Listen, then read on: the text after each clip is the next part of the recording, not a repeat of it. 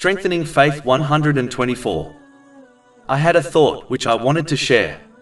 The Holy Quran describes two types of signs which point out the truthfulness of Islam. One type of signs are the verses of the Holy Quran, and the other types of signs are found within the creation. Every person is urged to reflect on both of these types of signs, in order to deduce for themselves the truthful nature of Islam.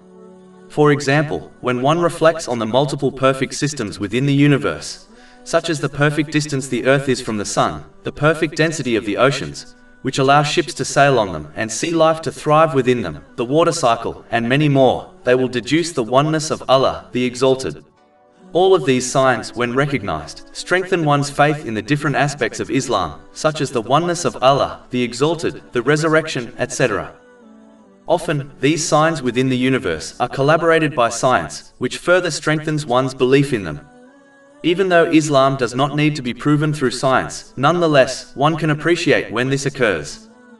For example, scientists have proven that when a star reaches the end of its life, it expands and becomes red. Interestingly, on Judgment Day, which is the end of the universe, the color of the sky will appear reddish, which would occur if the sun became red in color. Chapter 55 Ar-Rahman, verse 37. When the sky is torn apart and turns crimson like red hide, In addition, on Judgment Day, the sun will be brought within two miles of the creation. This has been confirmed in a narration found in Sahih Muslim, number 2864. This movement of the sun can occur when it expands in size, during the end of its life. Scientists have also deduced that the universe is constantly expanding. One can imagine that when an object continues to be stretched and eventually reaches its breaking point, the object will be torn apart, and whatever is within it will be scattered in different directions. This is how the end of the universe has been described in the Holy Quran. Chapter 82 Al Infitar, verses 1 to 2. when the sky will be cleft asunder, and when the stars have fallen and scattered. It is amazing how science has agreed on the teachings of Islam, which was revealed over 1,400 years ago. A Muslim must pay attention to both types of signs so that they strengthen their faith. This will ensure they remain firm on the sincere obedience of Allah, the Exalted, which involves using the blessings one has been granted in ways pleasing to Allah, the Exalted, as outlined in the Holy Quran and the traditions of the Holy Prophet Muhammad, peace and blessings be upon him. This leads to peace of mind and body in both worlds. Chapter 16 An Nahl, verse 97.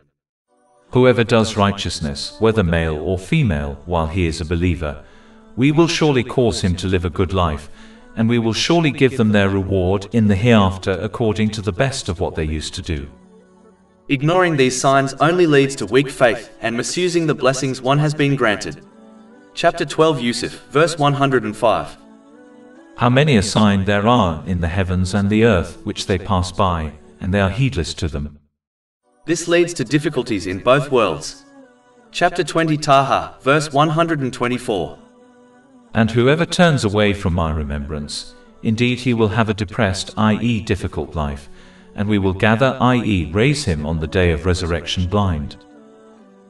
Over 400 free ebooks, audiobooks, infographics, podcasts, and blogs available on our website www.shaykhpod.com.